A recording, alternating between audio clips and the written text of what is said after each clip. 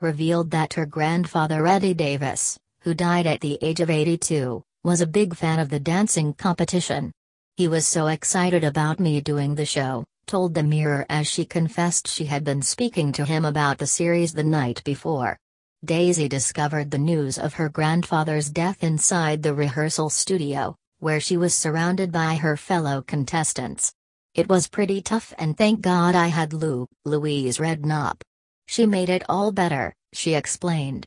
Elsewhere on the show, politician Ed Balls and his partner Katya Jones failed to impress, scoring just 21 points to take the bottom slot on the leaderboard, two behind Friday night's lowest scoring contestant Lesley Joseph.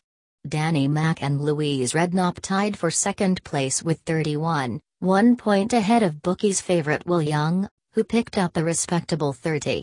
Also dancing on Saturday's show were Olympic gymnast Claudia Fragapane and actress Tameka Empson, who were both awarded 26 by the judges and singer Anastacia, who got 28. None of the 15 couples who danced on Friday and Saturday will be eliminated this week. Slash slash.